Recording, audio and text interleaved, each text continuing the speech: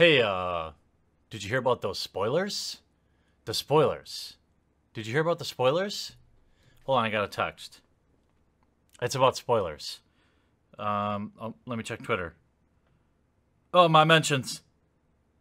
It's about spoilers. Crap, text message.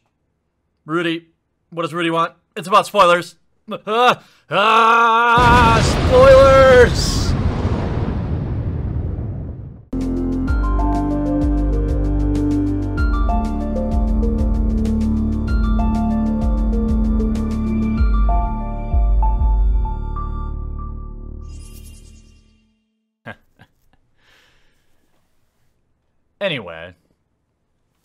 Have some Modern Masters 2017 spoilers coming out today. And gadzooks! Um, a little bit of what was expected and a little bit of what wasn't expected. Now, of course, my channel does not cover spoilers because, I mean, there's a million websites on the internet that can post them. However, I feel like when there's something of note reprinted, I'm going to try to cover it for you. So I'm going to hop on over to a couple of spoilers that I find noteworthy from today, and I'm hoping that uh, we will, of course, find some spiciness. Now I'm going to hop on over to my presentation. Look at how pro this is. I mean, you definitely want to back me on Patreon now because look at this high-end graphic. There really is no other place on the entire internet where you can get something this crisp and this clean. So let's get right into um, the uh, spoilerinos. And first we have what is actually a pretty cool uh, three color cycle of lands. The Savage Lands, Crumbling Necropolis, Jungle Shrine, Arcane Sanctum, and Seaside Citadel. Probably all first pickable in the draft format as we see a lot of land love coming from Ravnica into this set. I'm very excited about these lands. I think foil versions will get EDH players pretty pumped up, and it's definitely a sign of what to expect in draft. Then we have, of course, the guild gates. All 10 guild gates coming back uh, in this format. I don't think we're going to see Maze's End. I don't think you're going to be able to win Modern Masters draft formats or uh, sealed events with a Maze's End, but nonetheless, more fixing. Now, this two color fixing is at common, so you have three color fixing and uncommon, two color fixing at common, and we also have some more fixing later that I want to talk about, but of course, this video will have surprises throughout, so you're not going to want to miss anything. You're going to watch every commercial from beginning to end, and then you're going to go back on Patreon because you were so surprised and so shocked all the way through this video. Now let's get to something a tad more spicy. Muy caliente. Well, it's mm, kind of caliente. We have Damnation reprint. I think I talked to a few people today about Damnation. Obviously, people are very excited. I think Damnation is a card that they needed to reprint in a Masters type set or an EDH deck. And we finally have it here. This is a very expensive card. Um, I think Modern Masters versions of this card will probably be in the sub $20 range pretty quickly, um, with the originals not getting hurt that badly. Uh, Wizards has always maintained that this card has not played that much, and it's always been kind of this uh, pet peeve, or, uh, you know, us Magic players are always whining to reprint Damnation, and they never do because they say there's not enough people that play it. And so when they spoiled it today, I think they spoiled it just how I would, with one word, saying fine. And here's the Damnation reprint. Good on you, Wizards. Thank you for finally answering the call. It only took you 10 years. Now we have, let's turn up the heat a little bit more. Here we have Goblin Guide. This one was uh, spoiled by fellow YouTuber Tolarian Community College. I remember when I got spoil spoilers. Those were the days.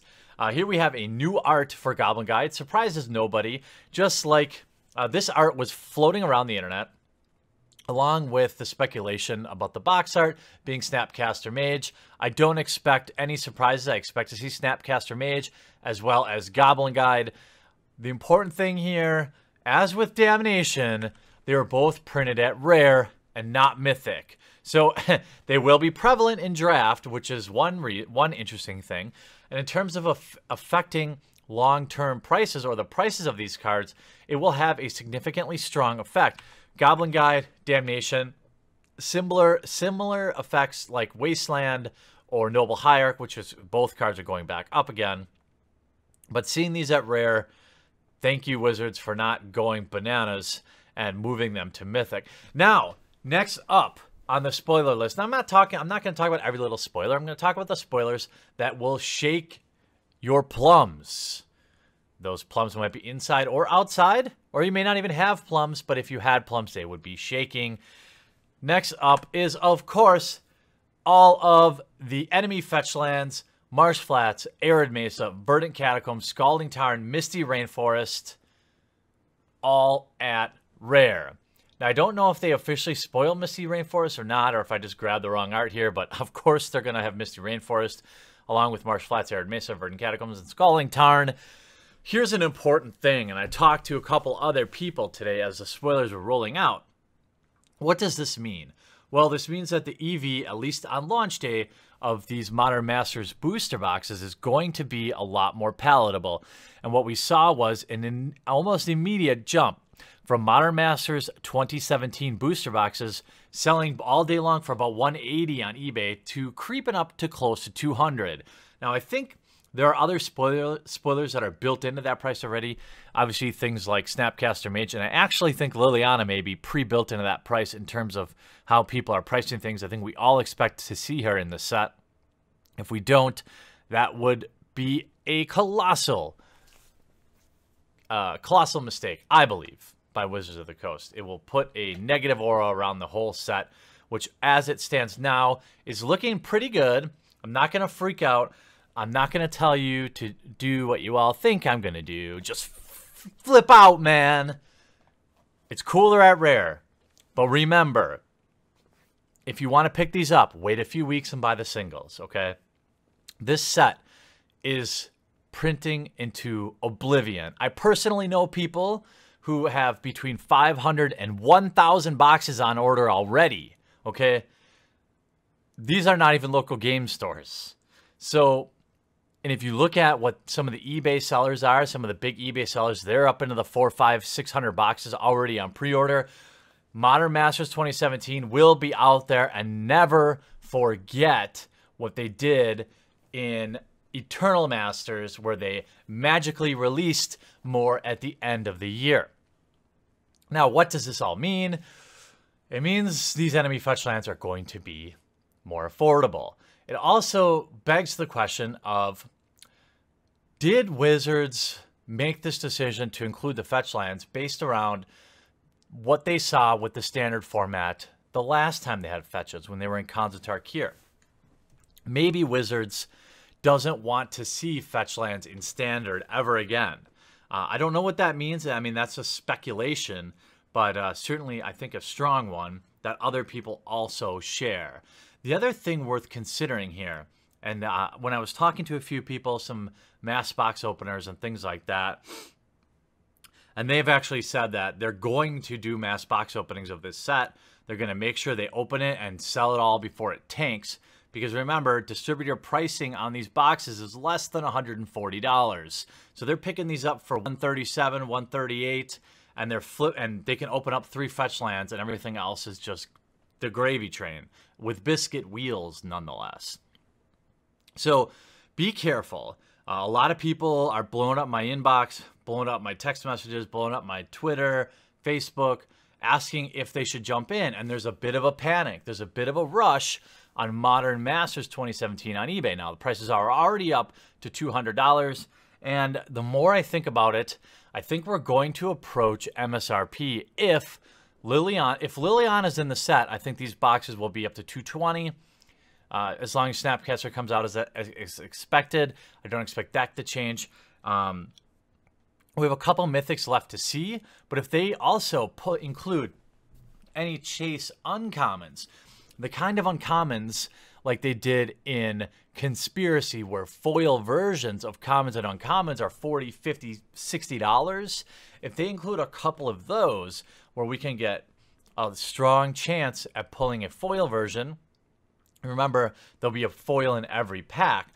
So a lot of times with conspiracy, I remember opening foil brainstorms early on when they were like 75 bucks and basically paying for the entire box. So I'm going to tell all of you what I've told uh, probably about 50 people individually via uh, email or whatever else. Don't freak out. I don't think you're going to make any money investing in Modern Masters 2017 and sitting on it. Is it better than 2015? I would say probably. You know, we're going to have to see, you know, if they omit Liliana and the Mythics are duds, then it's probably questionable. But remember, Wizards saw how much Khans of Tarkir sold. Wizards knows why Khans of Tarkir sold as well as it did, and it was because of the fetch lands. There's no way, there's two scenarios, okay?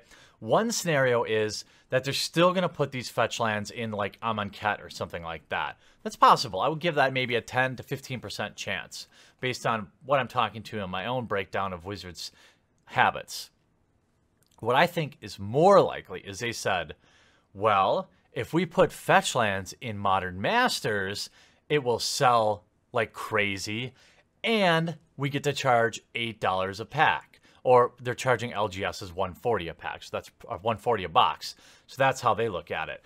Now remember, I wouldn't expect to see four or five of these in a box either because you're going to have only 24 packs. So you're only going to find one, maybe two, if you're lucky, three fetch lands in a booster box.